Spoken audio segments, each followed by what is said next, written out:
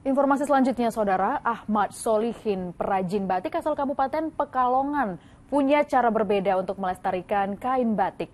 Batik buatannya ini menggunakan pewarna alami dan tak hanya ramah lingkungan, batik produksinya mampu menghasilkan pundi-pundi rupiah. Inilah berani berubah batik warna alam cuan jutaan.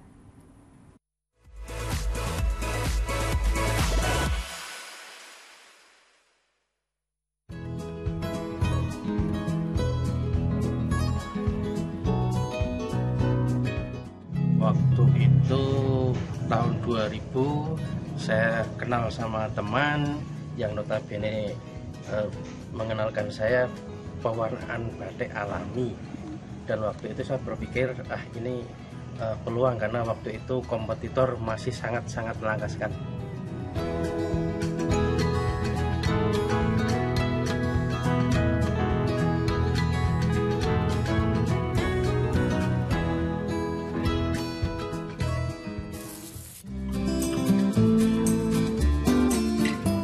Sebelum uh, bergerak di bidang warna alam hanya membantu proses dan pemasaran milik orang tua dalam membangun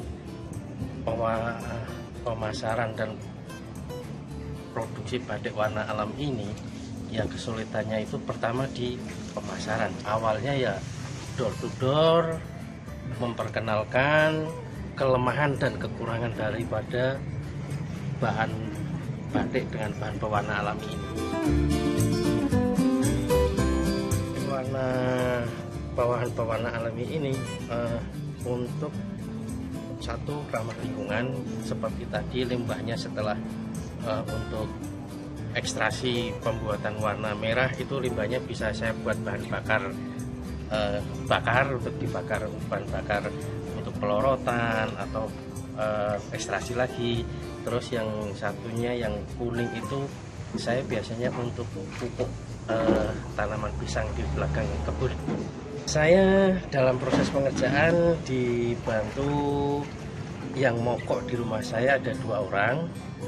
Terus yang saya tempatkan di rumahnya pembatik karena uh, biar nggak datang ke rumah mungkin repot saya ditempatkan di tempatnya orang pembatik itu ada tiga orang ya alasan memberdayakan mereka karena rata-rata suaminya itu uh, ada yang kuli bangunan, ada yang melaut. Jadi daripada di rumah uh, mungkin hanya sekedar ngomong anak, mungkin uh, ada kesibukan untuk membantu saya memproses batik.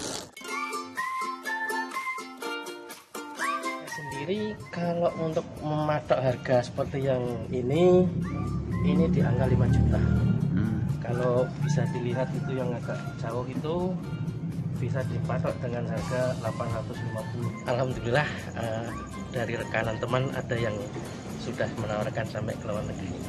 Omset ya kurang lebih sekitar 20 sampai 25 juta per bulan berawal dari ingin melestarikan tradisi dan menjaga lingkungan menyayangi bumi mencintai tradisi terciptalah batik dengan bahan pewarna alam.